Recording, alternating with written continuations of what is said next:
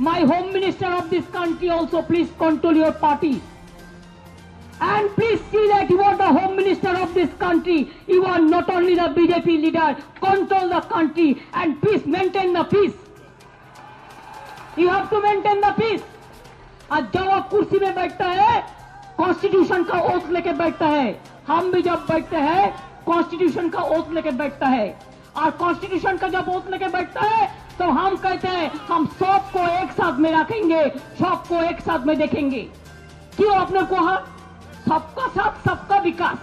तो सबका साथ, सबका विकास। तो क्यों आप लोगों को हाथ छोड़ देता है? आप सबका साथ, सबको विकास तो नहीं किया। सबका साथ लोगों को सर्वनाश किया है। सत्यानाश किया है। सत्यानाश किया है। ऐसे थोड़ा ही चलेगा। हम लोग शांत करके रखा है, लेकिन कंडीशन एक है। क्या वापस लो? एनआरसी नहीं चलेगा।